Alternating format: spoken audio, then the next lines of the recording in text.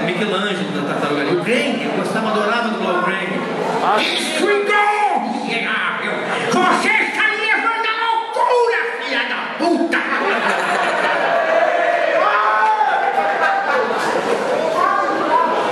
Quem? O Mate O Mato do Caos realmente foi um trabalho. Eu até ganhei o Oscar da dublagem com, com o Mate. É, o Mate foi o seguinte: eu tinha acabado de chegar de Belo Horizonte, eu tinha ido uma dentista em Belo Horizonte, inacreditável, morando no Rio de Janeiro, uma de- dentista, só eu consigo isso. Uma dentista em Belo Horizonte. Eu tinha acabado de chegar em Belo Horizonte, o Garcia Júnior me chamou para fazer o teste do Mate. E eu vi o Mate e falei, porra, esse cara tem cara de mineiro, ele tem cara de, de, de voz de mineiro. Aí eu fui e fiz o teste. E ganhei fui, e fui novamente escolhido pela Disney como o melhor do mundo também.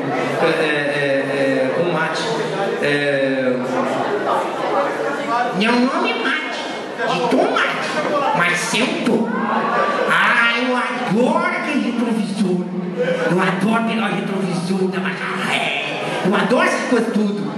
E eu fiz o teste exatamente como um mineiro. Claro que mineiro, isso é até uma sacanagem para mineiro, mas é, eu peguei o tom deles e fiz o teste e acabei ganhando.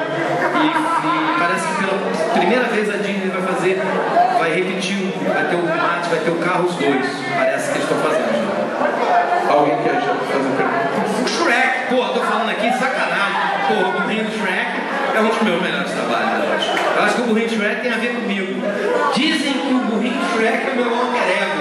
Eu achei engraçadinho. Eu li isso na internet uma vez, que alguém escreveu que o burrinho do Shrek é o meu alter ego. Eu fiquei, É, o dragão. O Chu, o. O Shrek é tudo Ed Murphy, né? Esse é o assim. burrinho do Shrek, Ed Murphy, o dragão. Na verdade, o dragão é, é, um, é um burrinho do Shrek, só que um no dragão e outro. Porque ele, ele tem as mesmas sacanagens do do Shrek.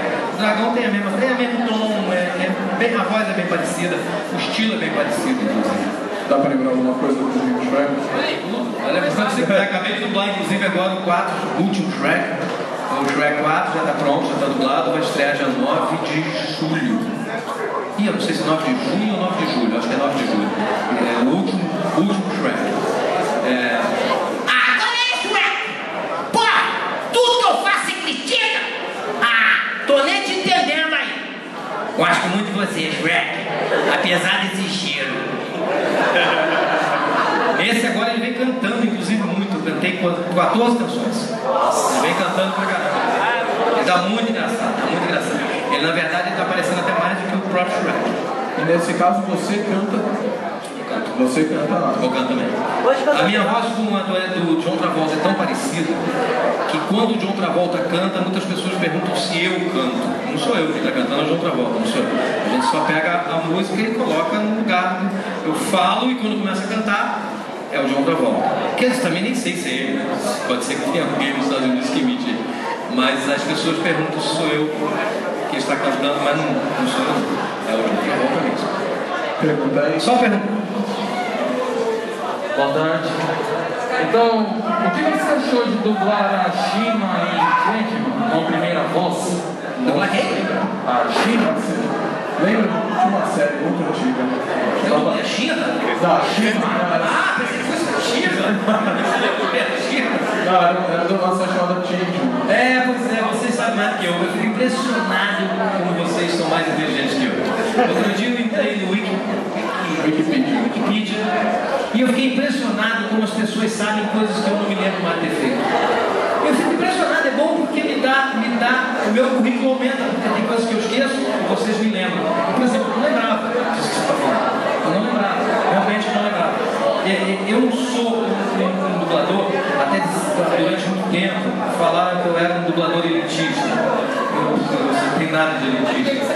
Disseram que eu não dublava desenho japonês é, e que eu não dublava novela mexicana. Novela mexicana é verdade. Bom que você falou que não dubla. Realmente, enquanto eu puder, eu não vou dublar novela mexicana. Porque eu acho que é uma sacanagem com a dublagem.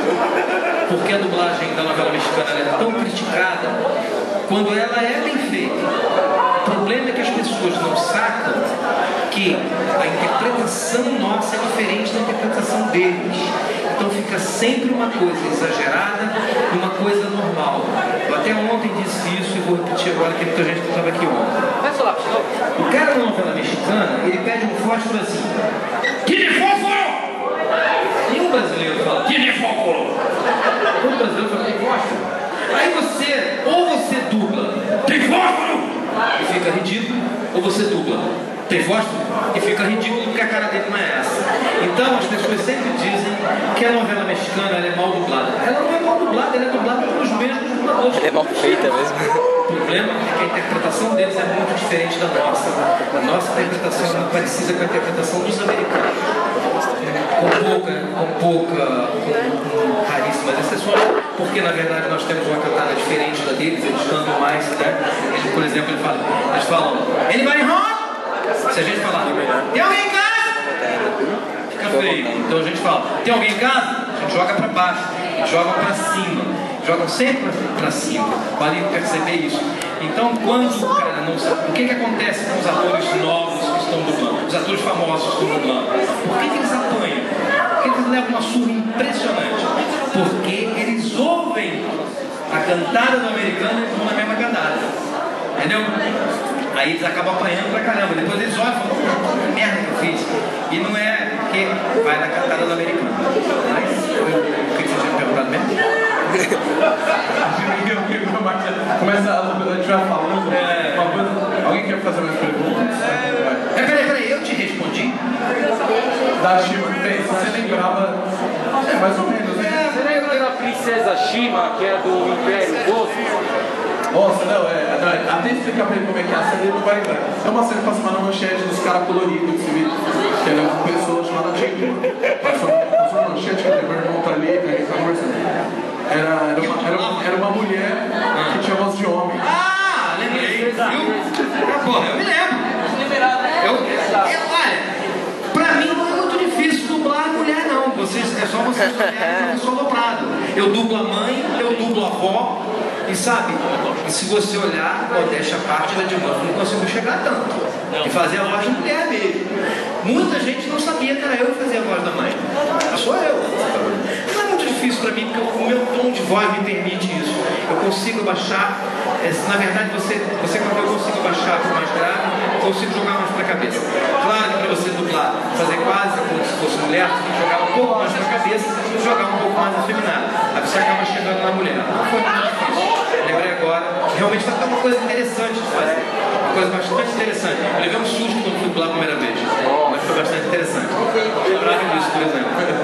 Um desenho que eu fiz. Do. Só abre a fazer a pergunta.